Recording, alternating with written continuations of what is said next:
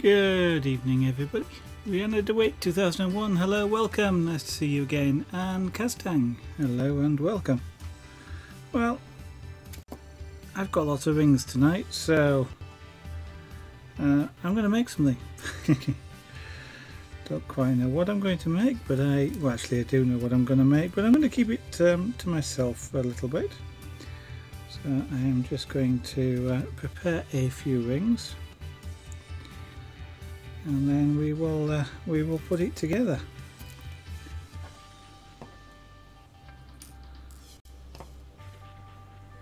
So I trust you are all doing well.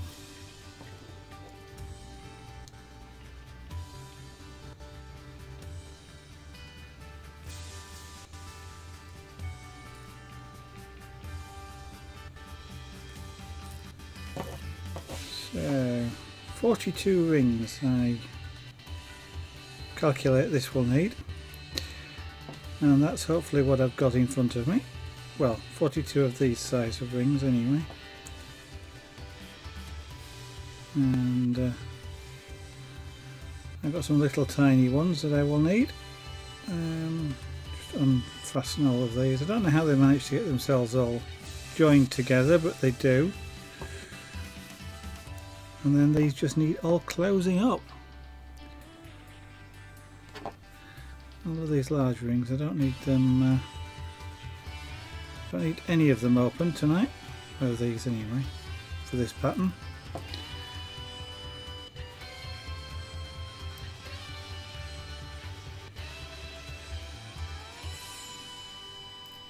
See if I can get into the practice back into practice for closing rings. Last night it was taking me ages I just could not manage to close a ring properly for uh, for trying.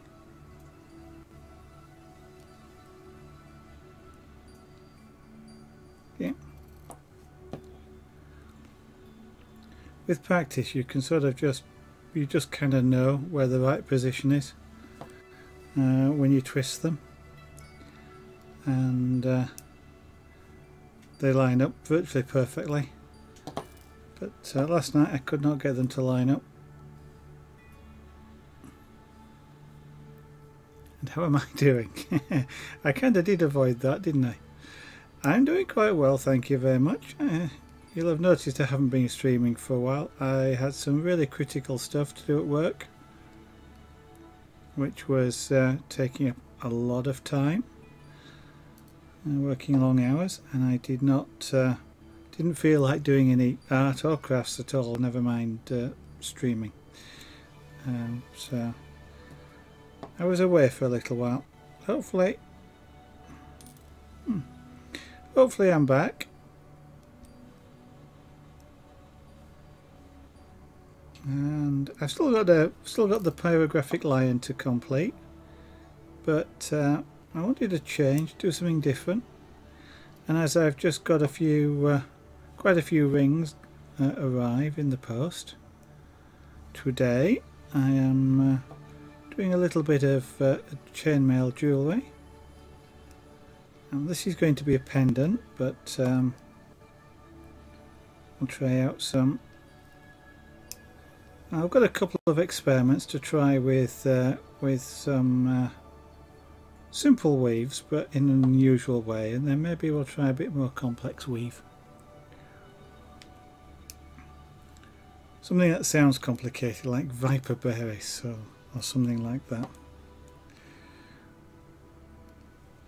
So one of the things I, I kind of quite enjoy about um, the chainmail is the weaves that look really complicated and they do. And uh, they're quite complicated to do until you learn how to do them and then they they're really simple. But that's kind of like most things I think isn't it? It's um, no matter what the skill is once you know how to do it it's it's really simple but uh, that's um, that's the skill making it look simple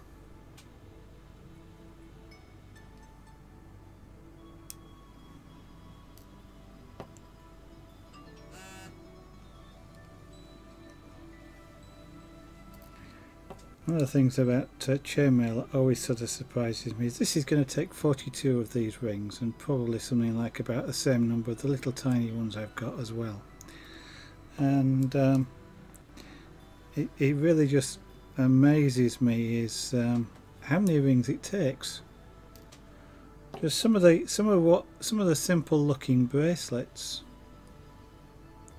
that you make. Obviously the longer they are the more rings they take but something like um, uh, this one which we made on the stream last night. There's something like about 160 rings in that it's only a seven and a half inch bracelet. And yet um, it kind of surprises me just how many rings it, it consumes. And then when you think you know, it looks like it ought to take about two or three minutes to make. And then when you think it's 160 rings and you'd have to be sort of doing about 10 per second in order to make it take a couple of minutes.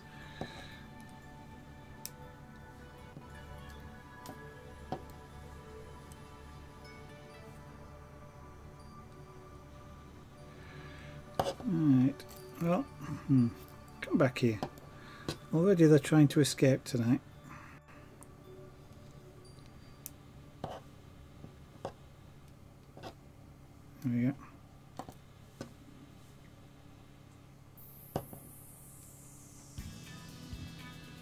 I'm doing is just the way in which the rings are made if you're not aware is they're made from a coil of wire basically. So they're very slightly open. So what I'm just doing is closing the gap because there's a very slight gap and then twisting them so that the, the ends line up. If you do it right the ends disappear basically. You, you sometimes can't even feel them. Uh, and what I'm doing when you see me tip it like towards me is I am literally just looking at those two ends to check that they have lined up. So if I can see daylight or I can see the edge of the ring it's not quite uh, closed properly.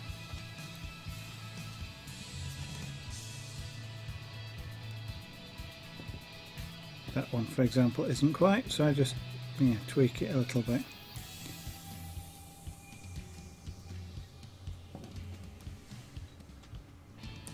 And occasionally like this one is ping, proving to be a little bit awkward. There we go.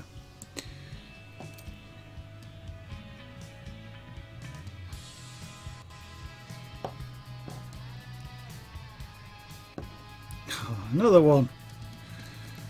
Hmm.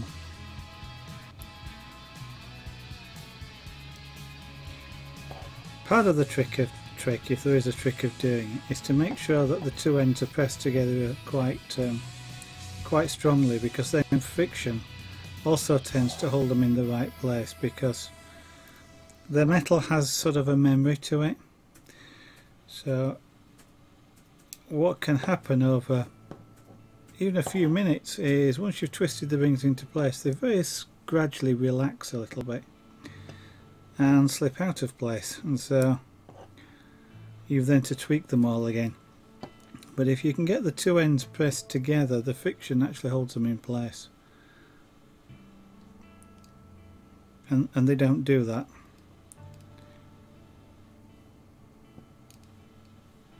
Which is quite useful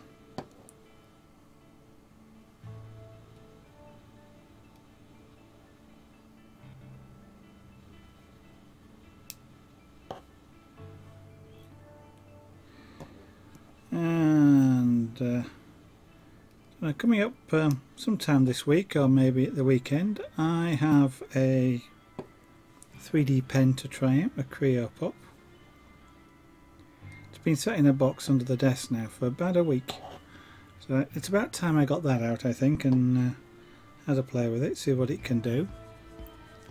Fluffy Twiglet, good evening, welcome.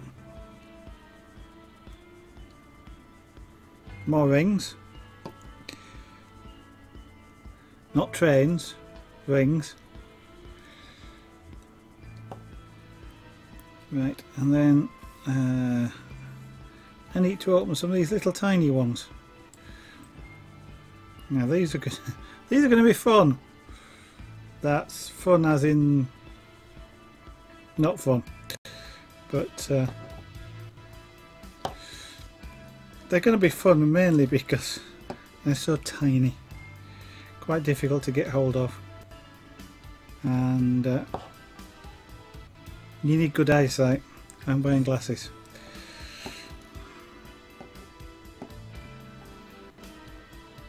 I may end up even having to get a magnifying glass out to uh, to see these in the end but we shall see. Now I I could sit down and work out how many of these I need. Um, I haven't. So I'm just going to do a few. And then we'll uh, we'll weave some rings. And then uh, I know I'm going to need some more so we'll open some more at a time. So we're going to do a, a Japanese style of weave. Which is a which is a different different way to uh, to the European styles so it's not something I've uh, done before so we'll have a go with that.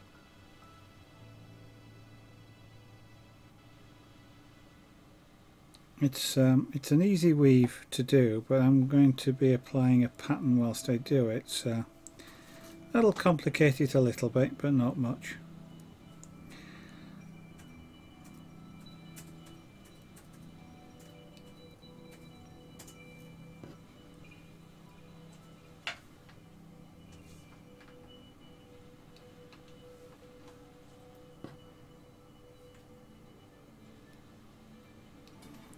Okay, a train shaped bracelet.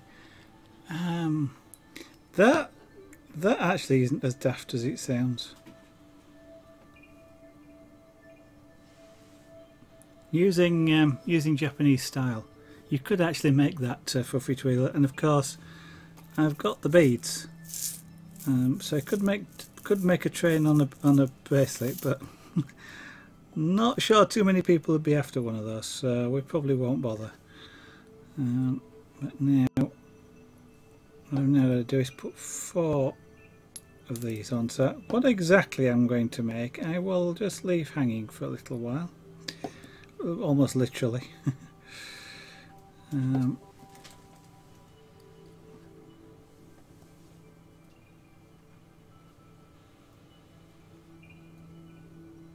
I'll, I'll keep you guessing. Hopefully you'll like it at the end. It's a pendant, so it's not a bracelet.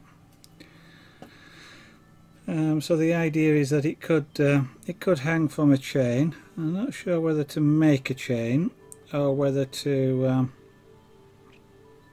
get something like a small sterling silver chain.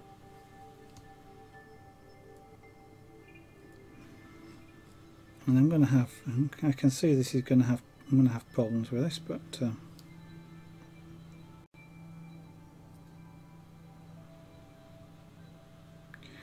holding on to these small rings can be a bit challenging just because you don't really want to hold on to them too too strongly but you kind of need to hold on to them with a bit of force just to stop them going all over the place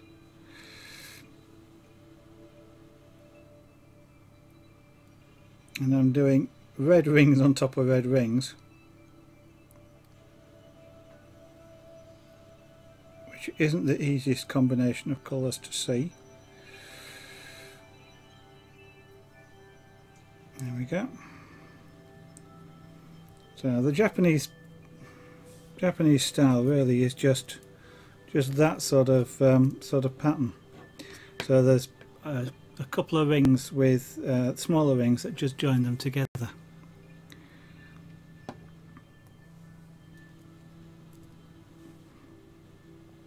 But one of the nice things about the, um, the style is that it is relatively easy to create patterns.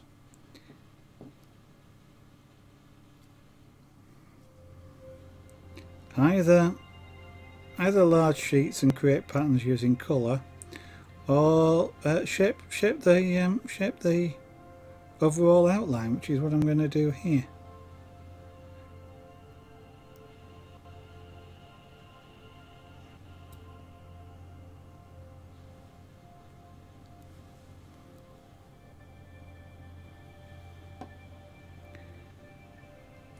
So it shouldn't be too long actually before you, you start to be able to guess what it is I'm doing, but um,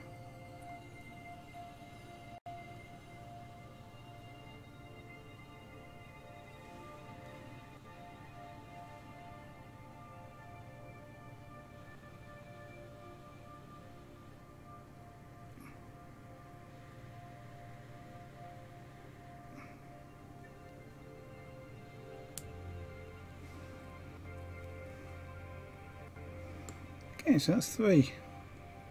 Now, having done that, what I'm going to do is join these three into a triangle.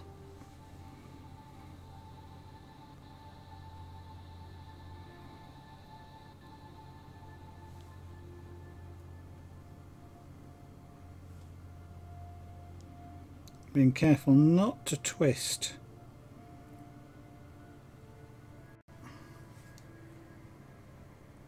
Christmassy. Ah, no, not Chris, not Christmassy. Thinking a little bit further ahead than Christmassy.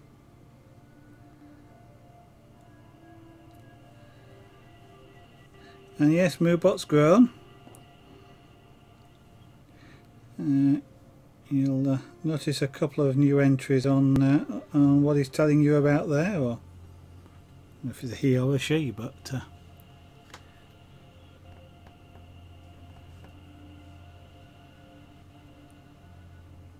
There's a couple, well actually there's three uh, bracelets on um, eBay at the moment. So if somebody was interested in buying one and doesn't want to wait, those are available immediately uh, on uh, on eBay. So there's the first three. We now just keep adding. Oops, come back here rings.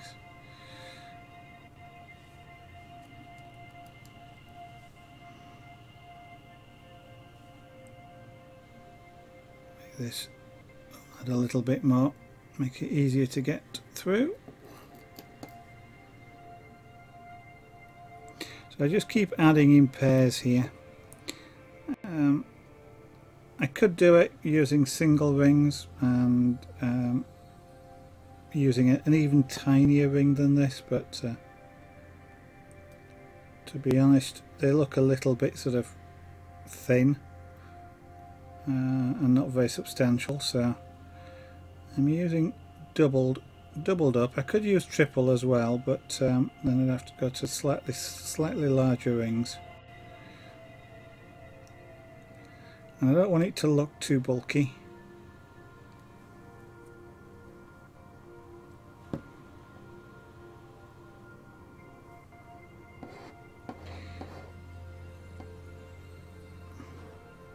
Uh, yeah.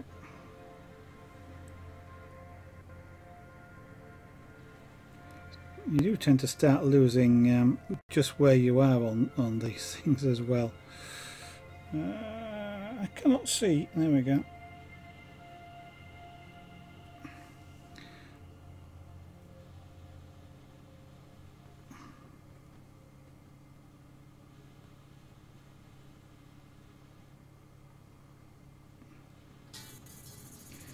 Can see I'm going to end up having to wear magnifying lenses, um, like a head, head mounted magnifying uh, unit, just to be able to see some of these things sometimes because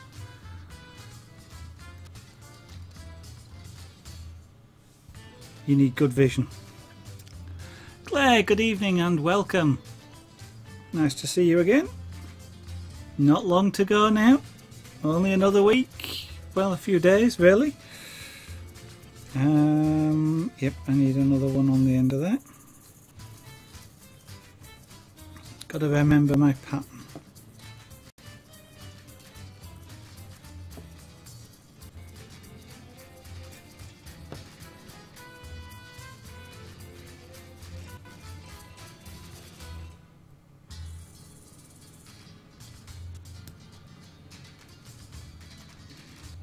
Believe it, but these tiny rings are actually harder to uh, to close than the bigger ones. M uh, mainly because they're um, you can't use as much. You've got to be a bit more gentle with them. because they're finer uh, wires so they bend a lot more quickly uh, and you can end up with rings out of shape um, but also um, just because they are so tiny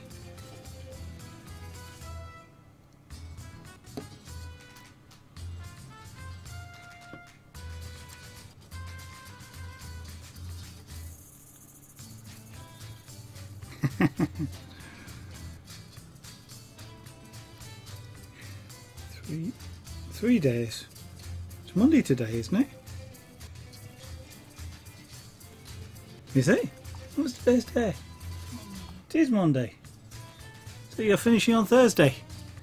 And as Fluffy Twiglet says, language. There's no need for it.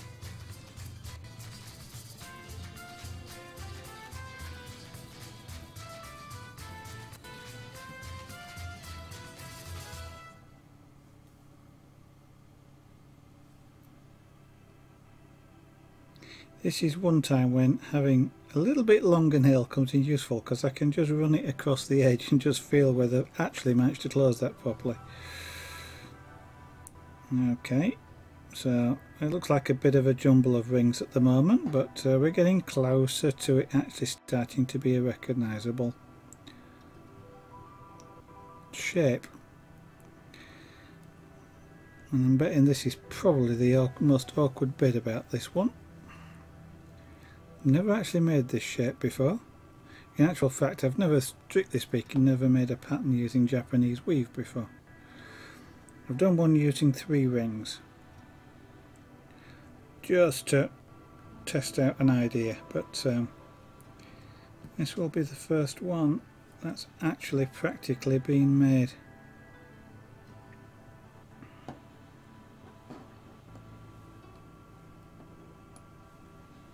Open that a little bit more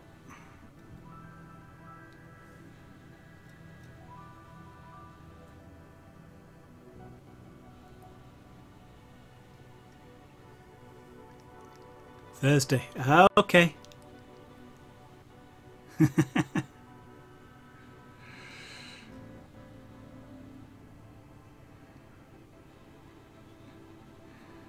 well, I, I wish you luck with it kind of envious in a way. But I wish you luck.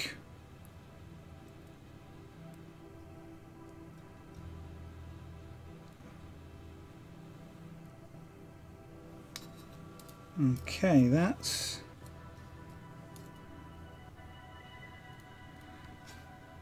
yep that's the ship. So I need to open some more of these red rings. Little tiny ones Those two are open. Let me move those out of the way.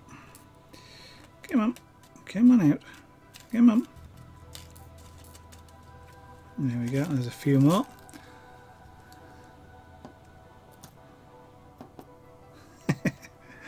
that that, that uh, fluffy twiglet is is almost like um, was it a cat by the was it by the power of Grayskull or something? Um, kind of sounds like a, cartoon uh, quote. Now that I watched that particular cartoon, I don't actually know which one it is, but uh, for some reason that's the one that came to mind.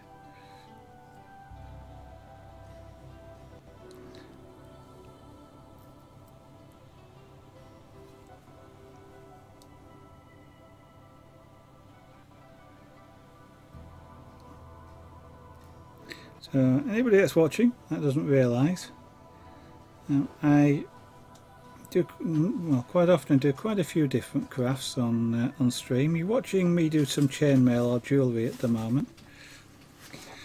Quite quite enjoy making jewellery out of chainmail. Chainmail is the technique of uh, weaving rings or inter interweaving rings to come up with something. So it's not armour um, as a lot of people think. Um, you create armour using chainmail techniques um, and the two have sort of become synonymous with each other but um, you know, the, the technique of weaving rings is um, is one that's used quite a lot in jewellery essentially, that's how a chain is made by interweaving rings, and chains are used a lot. But um, the Byzantine chain, which a lot of people know as jewellery, is is a you know is a chainmail technique. Um, but I do other uh, crafts as well. Um, if you were around a little bit earlier on the stream, you'd have heard me mention pyrography, um, painting with heat, or wood burning as people call it, but we don't actually burn wood.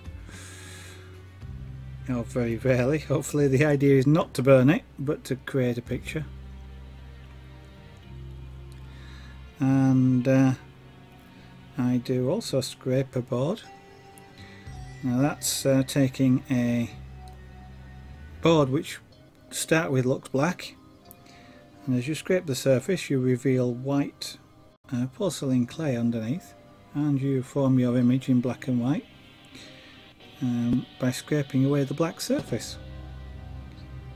And uh, it's, it's kind of like drawing with a white pen but backwards so you're taking away something rather than adding in and then you can apply ink to the porcelain clay for colour which is quite effective as I discovered the first time I tried it. Um, you will also, although it's a little bit rarer, but I do carve as well. So actually using very sharp chisels, which I keep sharp, as you'll see me uh, on stream sharpening it more than once and to create um, normally I work as uh, using relief carving. So that's kind of like carving a picture really. Um, so you've got a flat back rather than a full 3D object. But um, that's something else that I do.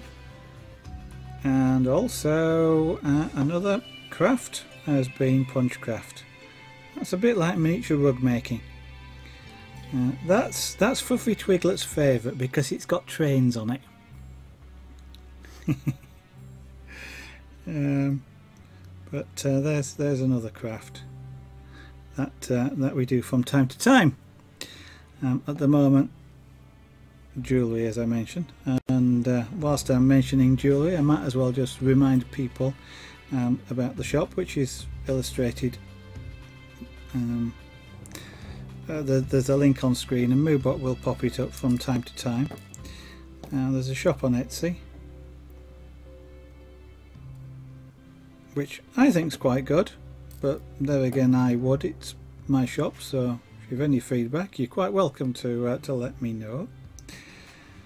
Uh, and those images that you see in the bottom left, most well all the jewellery is um, is jewellery and that's available on the uh, on the store in Etsy.